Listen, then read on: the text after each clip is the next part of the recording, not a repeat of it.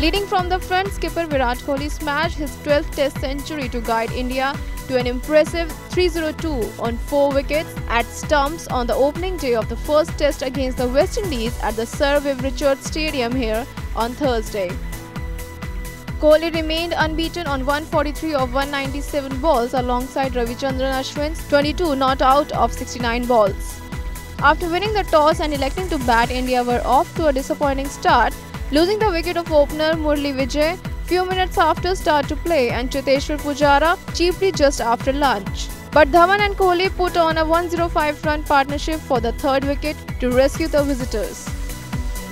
Yeah, he of course he has played uh, tremendous inning and uh, scored a century and then continuing and scoring big uh, runs of course and hopefully tomorrow he's gonna come back and score 150 and then double century also for us. And yeah, it feels good to bat with him. We both were rotating strike uh, and scoring runs at a good pace. So I feel that made a difference because we got 100 in partnership in just 121 balls or something.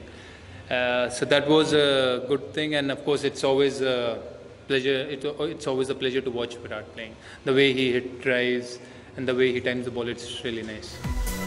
The host struck just as a stroke of tea dismissing said batsman Dhawan to have India at 179 on 3 wickets in 54.5 overs. Earlier at the press conference, Kohli said, It's a memorable place for me. I made my test debut uh, in West Indies.